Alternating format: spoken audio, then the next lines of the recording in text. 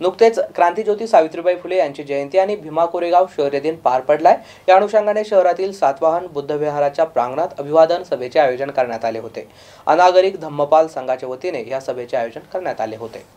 या कार्यक्रमाच्या अध्यक्षस्थानी संघाचे संस्थापक अध्यक्ष मुकुंद सोनवणे हे होते. तर प्रमुख पाहुणे म्हणून भिक्खू सुदत्त बोधी वैशाली सोनवणे समता सैनिक दलाचे कमांडर बाजीराव सोनुने माजी शिक्षण अधिकारी रमेश धणेगावकर विश्वनाथ दांडगे यांच्यासह अनेकांची उपस्थिती होती. कार्यक्रमाच्या सुरुवातीला भिक्खू सुदत्त बोधी यांच्या हस्ते भगवान गौतम बुद्ध आणि भारतरत्न डॉक्टर बाबासाहेब आंबेडकर यांच्या प्रतिमेचं पूजन करण्यात आलं. माता क्रांतीज्योती सावित्रीबाई फुले यांच्या प्रतिमेस वैशाली सोनवणे यांनी पुष्पहार अर्पण करून अभिवादन केले. समता सैनिक दलाच्या युनिटचे कमांडर बाजीराव सोनूने यांच्या नेतृत्वात भीमा कोरेगाव स्मृती स्तंभास मानवंदना देण्यात आली. यावेळी वैशाली सोनवणे यांनी माता सावित्रीबाई फुले यांच्या जीवनावर प्रकाश टाकला. यावेळी अॅडव्होकेट वानखेडे धणेगावकर अशोक गवळी यांनी आपापले विचार व्यक्त केले. तर अध्यक्षीय समारोप मुकुंद सोनवणे यांनी केला. या कार्यक्रमाचे सूत्रसंचालन संघाचे सचिव के एम देवळे यांनी केले. कार्यक्रम यशस्वी करण्यासाठी उपाध्यक्ष बाबूराव रणयेवले कोषाध्यक्ष सूर्यकांत तेलगोटे